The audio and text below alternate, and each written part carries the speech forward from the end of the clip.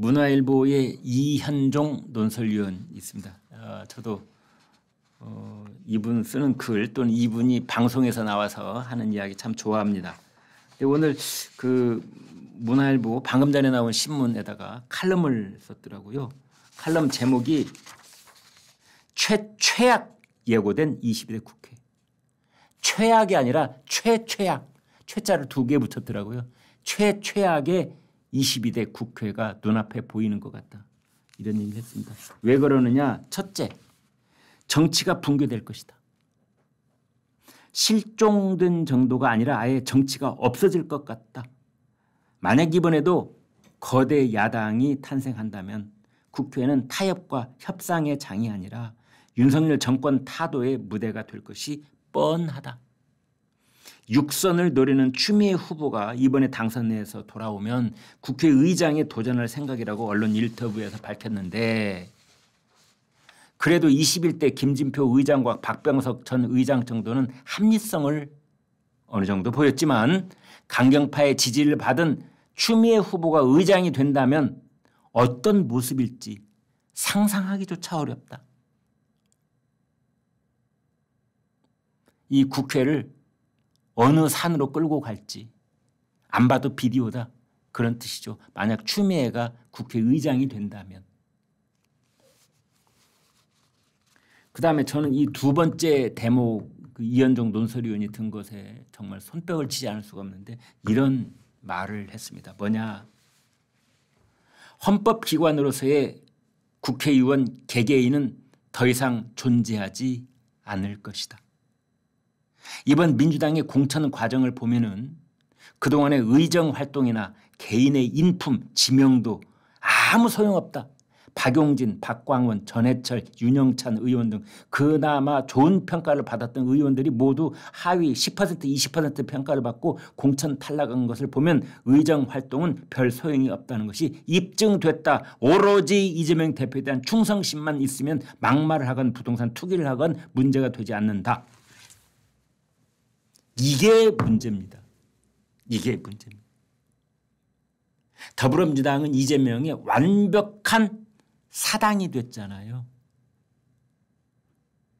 이번 공천 과정이 있기 전까지 이재명은 더불어민주당의 바지 사장이었습니다. 그런데 공천 과정을 통해서 이제 이재명은 더불어민주당의 오너 사장이 된 겁니다. 바지 사장에서 오너 사장. 모든 언론, 전 국민들이 한 달 동안 그렇게 비난을 했었는데도 꿈쩍 않고 여기다가 솜으로 귀를 탁 틀어막고 자기 사람들 다 양껏 심어 놓으니까 그게 이제 사당이 된 겁니다. 그래서 제가 유권자들께 두 번, 세 번 반복해서 드리는 말씀이 준연동형 비례대표제의 국회의원 선거 때 그리고 특히 한국의 정치문화 풍토 속에서의 국회의원 선거 때는 개인의 얼굴은 볼 필요도 없습니다. 여러분 지난 4년 동안 여러분이 살고 계시는 국회 지역구에 국회의원이 그 지역구를 위해서 어떤 일 하시는 했는지 기억나시는 거 있으세요? 아, 우리 솔직하게 서로 예, 터놓고 한번 얘기해 보겠습니다. 여러분 살고 계시는 곳에 국회의원 이름이라도 알고 계십니까? 그 국회의원이 여러분 삶 속에서 여러분 지역구를 위해서 어떤 일을 했는지 아세요? 아, 그래도 말이야. 우리 동네에 아이 김팔복 의원이 그래도 일 좀 했지. 어. 아, 요 앞에 내가에 그 다리 홍수만 주면 무너졌었는데 아, 그 의원이 그 다리 놔줬잖아. 이거야말로 쌍팔년도 얘기입니다. 아, 그 홍길동 의원이 말이야. 그 우리 마을 쪽으로 GTX 뚫어줬잖아. 어? 아, 그리고 연말이면 쪽지 예산 부지런히 넣어가지고 그래도 우리 동네는 말이야. 어? 아이 괜찮아. 뭐 도로도 다 우리 동네 뭐 저 도로 안 뚫린데 어디 가서 아 좋다고 혹시 이런 생각들 가지고 계세요? 아마 이 방송 공유하시는 분들은 한 분도 안 계실걸요. 그 독립된 헌법기관으로서의 국회의원이 자기 양심에 따라서 투표하는 거 한 번이라도 본 적 있으세요? 한 번이라도 본 적 있으시냐고요. 그동안에 수차례 있었던 불체포 특권 투표가 이루어질 때마다 자기 양심에 따라서 국회의원이 뭐 하는 거 보셨어요? 택도 없습니다. 다 당론에 따라서 당 지도부가 지시하는 대로 핫바지처럼 그냥 거수기처럼 그리고 당 지도부에 잘 보이기 위해서 개딸들한테 잘 보이기 위해서 상임위원 때는 상임위원회만 열리면 말도 안 되는 논리 그 가진 실수를 다해가면서 막 장관들이나 누구한테 말대 안 되는 공격 퍼붓고 그래서 점수나 따려고 그러고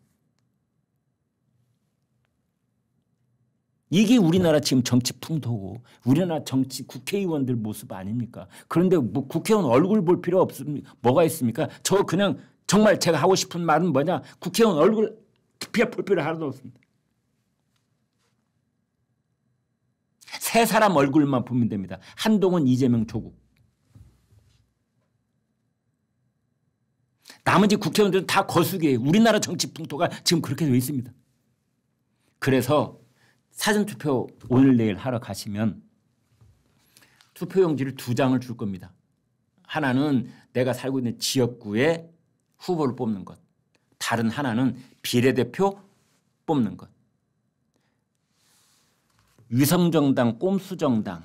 참 이것도 어, 다른 나라 국민들이 알면 참 부끄러운 노릇이에요. 어떻게 위성정당이라는 말을 씁니까?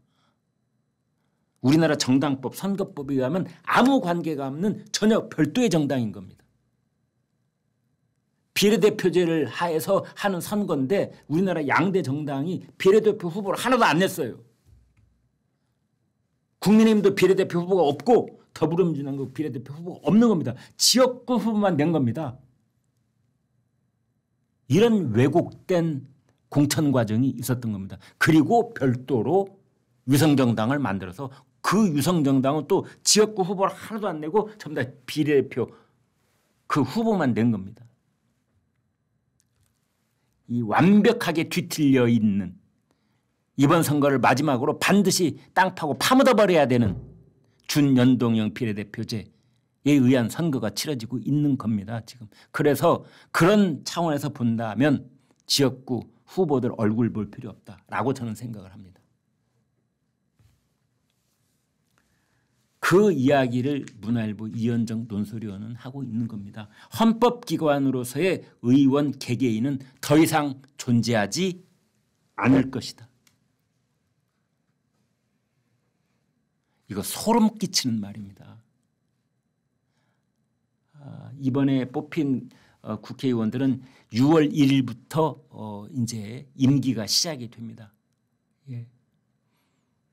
6월 어, 금년 6월 1일부터 국회의원들이 헌법기관으로서 자기 양심에 따라서 의정 활동을 하는지 이현종 논설위원은 자기는 거기에 대한 기대는 완전히 접었다. 이런 거죠.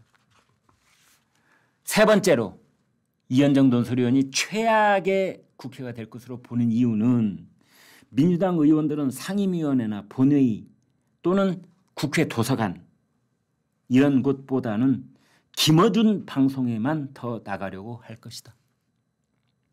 지지층이 매일 듣는 김어준 유튜브 방송에 출연해서 인증만 받으면 의정 활동 못해도 다음 공천은 문제가 없다는 것 아니겠는가라고 통탄을 하고 있습니다. 왠지 이대로 될 것 같아요. 어.